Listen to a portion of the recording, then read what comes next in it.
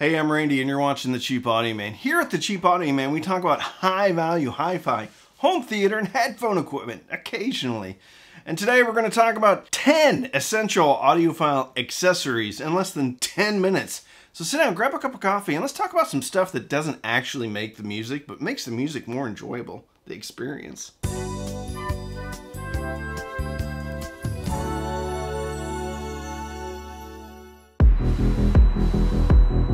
So the list is not in order of preference or anything, but if there was a preference, it would be this thing. And the number one audiophile accessory, for me, during the summer especially, is the Pelonis Quiet Fan. Super quiet. When I used to actually work for a living, I would do trainings for folks. One of the ways that I would explain signal to noise ratio was simply with a fan.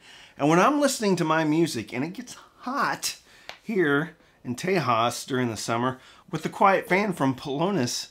This thing is dead quiet. I have two of them and I'm about ready to buy a third. Can't say enough about this fan. Comes with a remote control. Used to be, it goes on sale occasionally. I think it's $70, but trust me, it is $70 well spent. Pelonis fan. The Amazon Basics Power Strip I love this thing. There's nothing really basic about it. 12 different outlets. And when this is on, kind of glows green. There's some green LEDs around it. And I love it. Put a little Velcro on here. I take the adhesive. Actually, that should have been one of the things right here. Maybe the Velcro. I have it right over there. I put half the Velcro on the bottom of a rack or the side of a rack. And then half on here. And man, this stuff is strong. I think it's 3M. Hold on, let me grab that.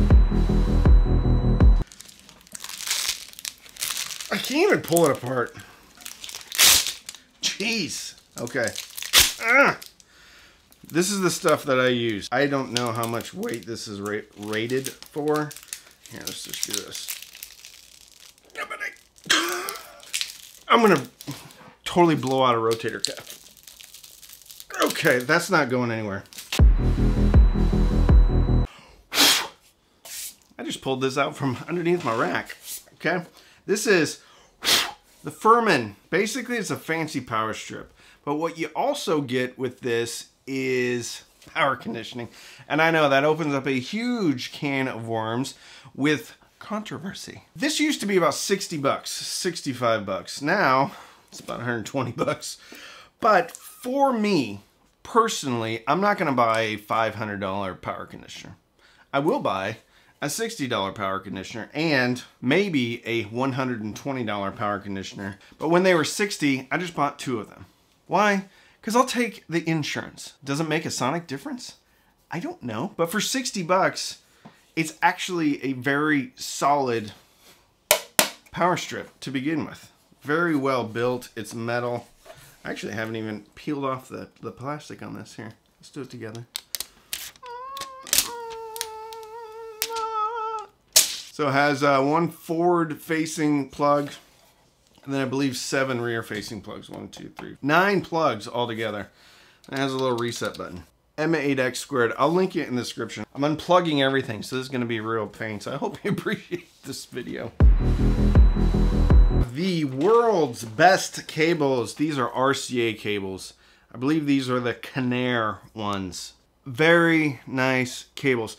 The cool thing about these cables and I kind of use the same mentality as I do with the Furman Power Conditioner. I'll take the insurance for $20. I used to buy Amazon Basics cables. Nothing wrong with them. I still love them. They're my second favorite cables behind these. But these are actually directional cables. Little Velcro. They come in a variety of lengths. You can get the Mogami, I believe it's called, or the Canare wires. Either way, I have both of them. Again, cheap insurance. I don't know if they make a huge sonic difference or any at all, but I get these because they're nice and I haven't had one fail me yet. You can buy one foot lengths or one and a half foot lengths or two foot lengths, which keeps your cables, uh, cable management clean. I really hope you like this video because I had everything nice and tidy back there. Not so much anymore. They're Velcro straps. They're Velcro cable wrap straps. I did a video on cable management, basically kind of cleaning up the back of your stereo. And I use electrical tape, which incidentally I still think is one of the best, cheapest, and fastest ways to do cable management. You can actually start with the electrical tape. Once you have it figured out, put the Velcro. Great way to do cable management. Okay, for all you vinyl aficionados out there, every self-respecting vinyl enthusiast has one of these. It's a brush. Yeah, I don't know if it's anti-static. I don't know if it's anti-anything. Anti-resonant brush. Who knows? This was recommended to me by somebody that I trust. So this is the one I bought. I'll link this. I don't even know what the brand is. It's got a B on there. If you think this one is garbage, if you think any of these are garbage and you have a better alternative, drop it in the comments. Let's help each other. If you're getting any value out of this video, consider subscribing if you're not subscribed and liking the video. You can always take your like back. You can always unsubscribe. Turn on the bell notifications, whistle notifications, pots and pans notifications. One of the coolest things about vinyl is, well, just how pretty it is. In essence, every time you buy a vinyl record, and people complain about the cost of vinyl now, but the cost of vinyl now is about 30 bucks for a record around that. I know people are going to argue. Around 30 bucks for a record. If you take into consideration inflation, a $13 CD in 1988 costs about $30 now. So a vinyl record really isn't that expensive.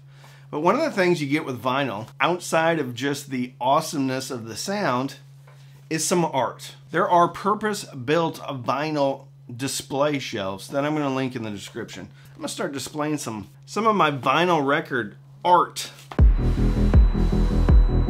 Ooh, one of my favorites, probably the most expensive on this list too, is uh, actually not too much more expensive than the uh, power conditioner. Anyway, Vulcan Stereo Rack. They are a very straightforward, simple, but wonderfully built stereo rack. 199 for a four shelf, and I think 250 for a five shelf. You can add on to them. You can put casters on the bottom.